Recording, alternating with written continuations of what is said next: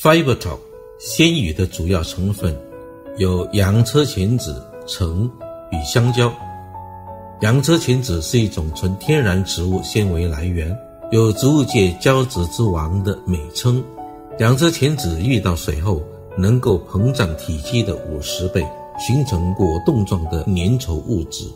可以增加饱足感，却不会提供热量。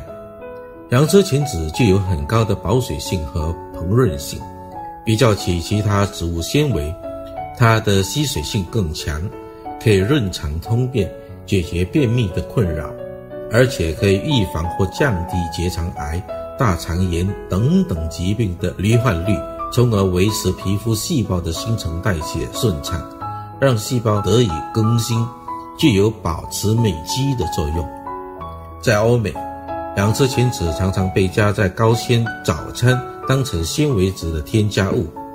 一项发表于美国临床营养期刊《America Journal of Critical Nutrition》由肯塔基大学的研究人员进行的实验，更发现洋车前子也能够降低胆固醇，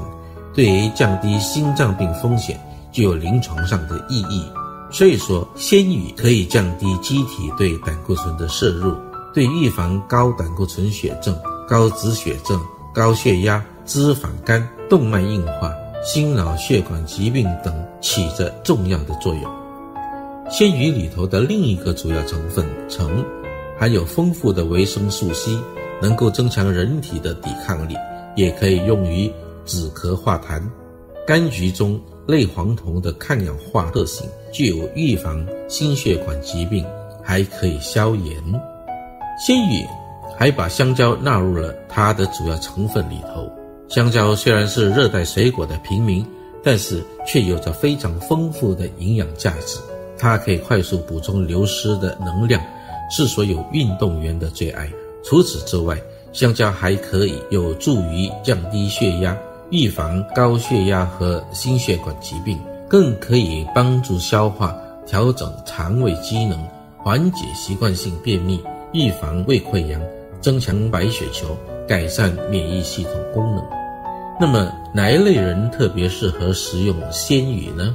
首先，因生活上或工作上需要，长时间在外用餐或者喜欢吃快餐的现代人士；其次，对于偏爱吃肉类的人士，也特别适合食用鲜鱼；再来，针对需要补充膳食纤维的人士，鲜鱼更是不二选择。